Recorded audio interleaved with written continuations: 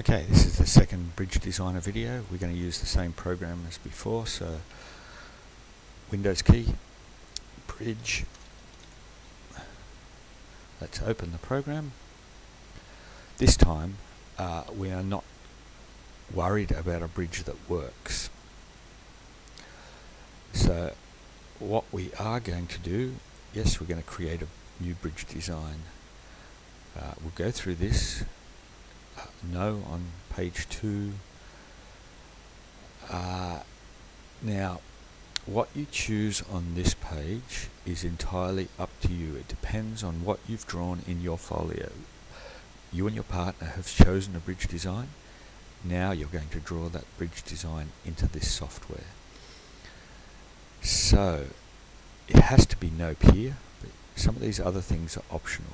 The elevation doesn't matter. I always like to elevate it down. Now, what will happen is the bridge gets narrower uh, the further down it goes. Therefore, there's less joints that can fit in. So it's going to depend on what your bridge looks like. And this might be a bit of trial and error. You try things.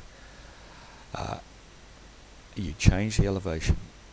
Now, if you start with that one, yes, you get lots of joins. You could get pretty complex uh, in your bridge design. However, you will run out of, well, uh, you get less room at the top. So your bridge will not be able to be built high.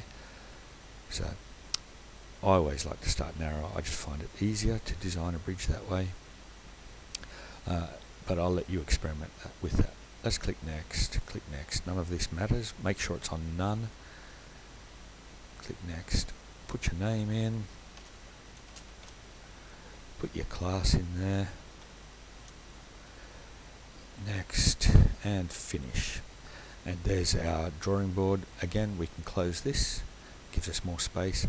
And using your folio, copy the design of your bridge, what it looks like, as best you can into this program. So remember use this crosshair to get things symmetrical. It's really good if you can make your bridge symmetrical. So what you do on the left side should be the same as the right side. And uh, yeah, let's draw our bridge. Um, yep and that one my bridge is going to be fairly simple. We'll draw our members in. Oh. sorry I need to go back. My bridge has got these things up here.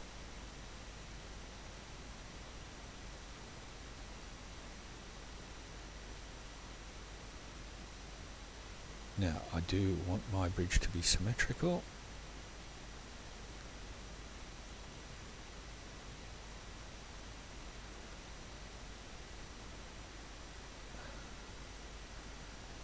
So let's draw it in. Uh, yeah, I think that's right. Remember, look in your folio, you should be copying what's in your folio.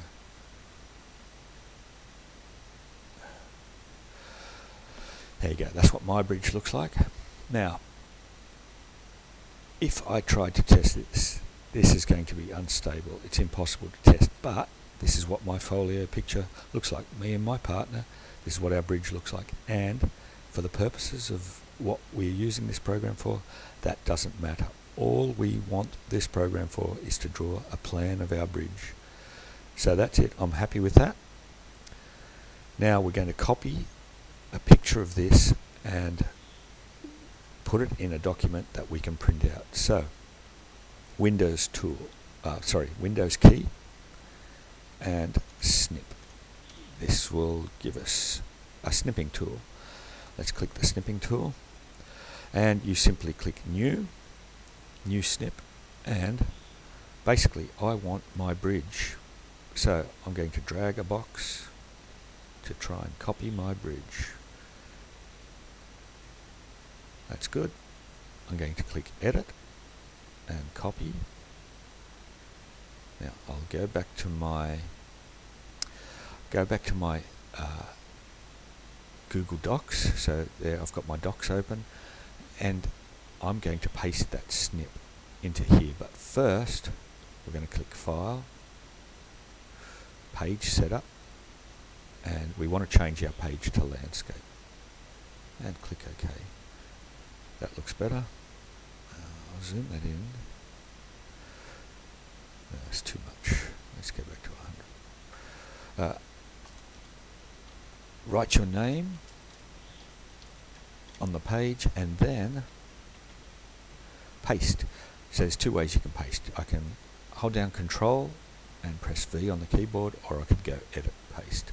So I'm just going to do control V and there's my image. Now we want our bridge to be as big as possible on this page. So I've kind of got this unnecessary space or stuff here. Really I only want the bridge. So double click on the image and make sure you get those little black handles. That allows me to crop. Don't don't move the blue handles, only the black handles. And it will do a crop. There you go. Click somewhere in the white space. Maybe press escape. That's better. And I can now use the handles to fill the page with my bridge. Now, if I move the middle handles, it will change, uh, what, what do you call that?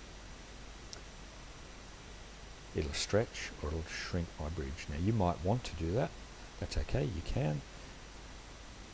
Uh, I mean, that looks, that looks cool, but it doesn't fill the page. We need to fill the page, so it's important that we fill the page with our bridge. So really that's it. We only use Bridge Designer to draw our bridge. It doesn't have to pass the test. Okay, we're going to test it with Spaghetti later. We use the snipping tool to create a copy of our image. Then Google Doc, paste it into a Google Doc landscape, fill the page, and then, whoops, what have I done? Don't know what I did there. Uh, and then we can print that out. So one of two things, you'll either be sent to the library uh, to print off the computer there from your Google Doc. Ooh, always good to uh, name your bridge, name your document. Mr. L's Bridge. Or share it to your teacher who will print it for you. Uh, that's enough for this video. Copy your design from your folio into Bridge Designer and then we'll print it out. This will become a plan that you work from in class when you're building your bridge. Thank you.